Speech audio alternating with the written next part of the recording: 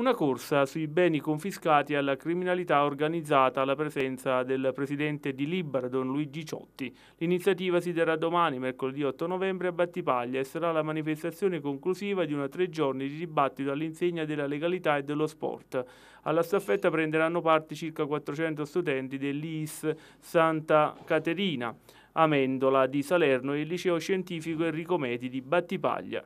I corridori a partire dalle 9.30 di mercoledì fino alle 13 correranno in via Gonzaga intorno al caffè 21 marzo, simbolo della lotta alla criminalità organizzata di Battipaglia. Il testimone che dovranno passarsi i vari staffettisti poi rappresenta un simbolo del dramma che proprio in provincia di Salerno ha colpito così forte. Il legno utilizzato per il testimone infatti è stato ricavato da un barcone dei migranti giunto a Lampedusa. Prima della corsa però sarà dato spazio anche alla formazione. Gli studenti dei due istituti scolastici terranno un primo incontro formativo dedicato all'educazione ambientale, curato dai carabinieri forestali del reparto biodiversità di Caserta. Il secondo invece sarà dedicato allo sport e vedrà la partecipazione di alcuni membri del gruppo sportivo dei carabinieri.